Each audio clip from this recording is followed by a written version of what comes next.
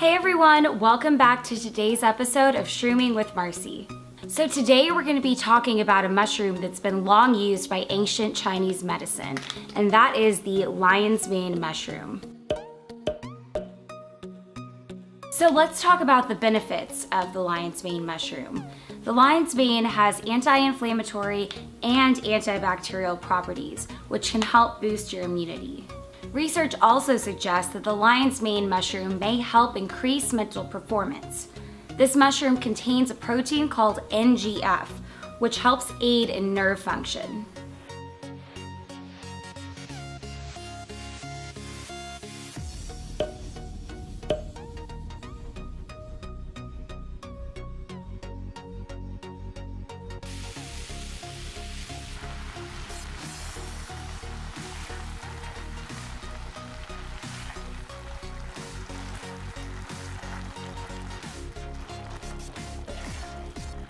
That's all for today's episode of Shrooming with Marcy. Stay tuned, and below in our description box, I'll include the link to our Lion's Mane product.